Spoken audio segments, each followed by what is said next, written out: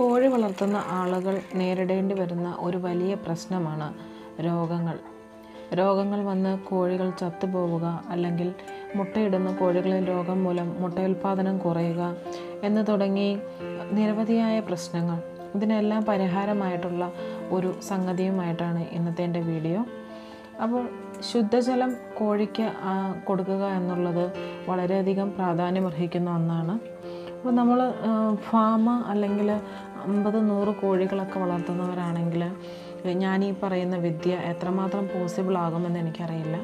പക്ഷേ വീട്ടമ്മമാർക്ക് അല്ലെങ്കിൽ ഒരു ഇരുപത്തഞ്ച് മാക്സിമം അമ്പത് കോഴികളൊക്കെ വളർത്തുന്നവർക്ക് ഈ ഞാൻ പറയുന്ന ഐഡിയ ഫലവത്താകുമെന്നുള്ളത് ഉറപ്പായ കാര്യമാണ്. അപ്പോൾ അതിന് എന്തൊക്കെയാണ് വേണ്ടതെന്ന് നമുക്ക് നോക്കാം. അപ്പോൾ നമ്മളിത് കുറേ പച്ചമരുന്നുകളും കാര്യങ്ങളുമൊക്കെ ഇട്ട് നമ്മൾ വെള്ളം തിളപ്പിച്ച് സാധാരണ വെള്ളത്തിൽ മിക്സ് ചെയ്ത് കോഴിക്ക് കൊടുക്കുകയാണ് ചെയ്യുന്നത്. ഞാനിങ്ങനെയാണ് എല്ലാ പ്രാവശ്യവും ചെയ്യുന്നത്.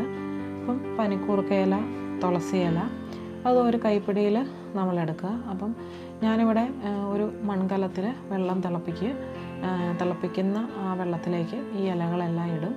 അതിനോടൊപ്പം തന്നെ കുറച്ച് കാര്യങ്ങളും കൂടി ചേർക്കേണ്ടതായിട്ടുണ്ട്. നമ്മുടെ നാരങ്ങ. അപ്പം നമ്മൾ വീട്ടിൽ വാങ്ങിയതിന് ശേഷം വാടിപ്പോയ നാരങ്ങകൾ കാണാം. അതുപോലെ നെല്ലിക്ക. പിന്നെ വീട്ടിൽ ബാക്കി വരുന്ന ഇഞ്ചിയുടെ കഷ്ണങ്ങൾ നമ്മൾ മേടിച്ച് ചിലപ്പോൾ ചീഞ്ഞു പോയതോ അങ്ങനെ എന്തായാലും കുഴപ്പമില്ല. ഇനിയിപ്പം അതൊന്നുമില്ല. നല്ലതാണെങ്കിലും ഒരു കഷ്ണം എടുക്കുക പിന്നെ കറിക്കൊക്കെ അരിയുന്നതിന് വേണ്ടിയിട്ട് നമ്മൾ ചീക എടുക്കുമ്പോൾ കുറച്ച് തൊണ്ടൊക്കെ ബാക്കി വരുമല്ലോ. അങ്ങനെയെല്ലാം നമുക്ക് ഇഞ്ചിക്ക് ഇഞ്ചി അങ്ങനെ പിന്നെ അതുപോലെ വെളുത്തുള്ളിയുടെ കഷ്ണം അതിന്റെ തൊണ്ടുകൾ ഇതെല്ലാം കൂടി നമ്മൾ ഈ തിളപ്പിക്കാനുള്ള വെള്ളത്തിലേക്ക് ഇടുക. പച്ചമഞ്ഞളിന് പകരം കെമിക്കലൊന്നും ചേരാത്ത നല്ല മഞ്ഞൾപ്പൊടി കിട്ടുകയാണെങ്കിൽ അത് ചേർത്താലും മതി. അപ്പം ഇനി ഇതിന്റെ കൂടെ നമുക്ക് കാന്താരി മുളകോ അല്ലെങ്കിൽ പച്ചമുളകോ അങ്ങനെ അല്ലെങ്കിൽ മുളക് പൊടിയുടെ ഒരു നുള്ളോ ഇടുന്നത് നല്ലതാണ്.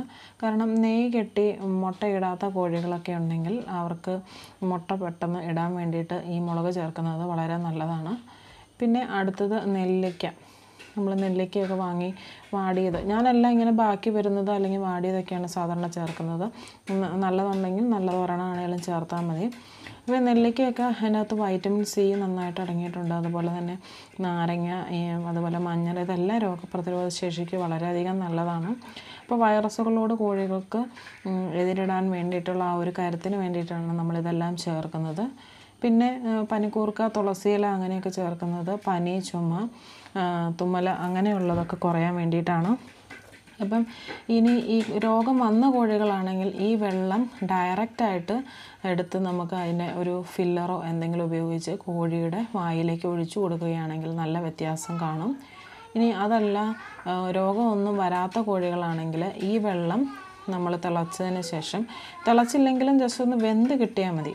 വെന്ത് അതിന്റെ ആ സത്തൊക്കെ വെള്ളത്തിലേക്ക് ഇറങ്ങിയതിന് ശേഷം നമ്മൾ പിറ്റേ ദിവസം ഈ വെള്ളം അരിച്ചെടുക്കുക. അല്ലെങ്കിൽ നന്നായിട്ട് താ- ആറിയതിന് ശേഷം അരിച്ചതിന് ശേഷം ഈ വെള്ളം നമ്മൾ ഏത് ബക്കറ്റിലാണോ അല്ലെങ്കിൽ ഏത് പാത്രത്തിലാണോ കോഴിക്ക് വെള്ളം കൊടുക്കുന്നത് അതിനകത്തേക്ക് ഒഴിച്ച് കൊടുക്കുക. അപ്പോൾ ഞാനിവിടെ ഇതിപ്പോൾ ഒരു അഞ്ച് ലിറ്ററിന്റെ ബക്കറ്റാണ്. അപ്പം ആ ബക്കറ്റിൽ ഈ വെള്ളവും അതിന്റെ കൂടെ ഒരു ഒരു ഇരട്ടി വെള്ളം നല്ല ശുദ്ധജലം കിണറ്റിൽ നിന്ന് കോരിയ വെള്ളവും കൂടി മിക്സ് ചെയ്ത് അതിനകത്ത് ഒഴിച്ചാണ് ഞാൻ സാധാരണ കൊടുക്കുന്നത്. ഈ വെള്ളം തന്നെ ഇപ്പോൾ രോഗങ്ങളൊക്കെ ഉള്ള കോഴികളാണ് ഈ വെള്ളം ഡയറക്റ്റായിട്ട് കൊടുക്കാൻ ശ്രദ്ധിക്കുക. അപ്പോൾ ഒരാഴ്ചയ്ക്കുള്ളിൽ കോഴിക്ക് നല്ല വ്യത്യാസം വരും.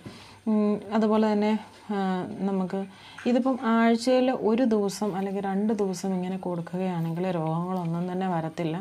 എനിക്ക് ആദ്യകാലങ്ങളിൽ ഇതൊന്നും അറിയത്തില്ലായിരുന്നു കോഴി വളർത്തിക്കൊണ്ടിരുന്നപ്പോൾ അപ്പം ഞാനിങ്ങനെ സാധാരണ പൈപ്പ് വെള്ളം അതായത് പുറത്തുനിന്ന് വരുന്ന ക്ലോറിനേറ്റഡ് വെള്ളമൊക്കെ ആയിരുന്നു കൊടുത്തുകൊണ്ടിരുന്നത്. ശ്രദ്ധിക്കാറില്ലായിരുന്നു അല്ലെങ്കിൽ പൈപ്പിൽ നിന്ന് വരുന്ന വെള്ളം. അങ്ങനെയൊക്കെ കൊടുത്തപ്പോൾ കോഴിക്ക് ഇപ്പോഴും രോഗങ്ങളായിരുന്നു. ഇപ്പോഴും ഇംഗ്ലീഷ് മരുന്ന് കൊടുക്കാനേ നേരമുണ്ടായിരുന്നുള്ളൂ. അതുപോലെ തന്നെ മുട്ട ഉൽപ്പാദനവും തീരെ കുറവായിരുന്നു. പിന്നീട് ഞാനിത് അങ്ങനെ പരീക്ഷിച്ചൊക്കെ നോക്കിക്കഴിഞ്ഞപ്പോൾ ഇത് വളരെയധികം ഫലപ്രദവുമാണ്.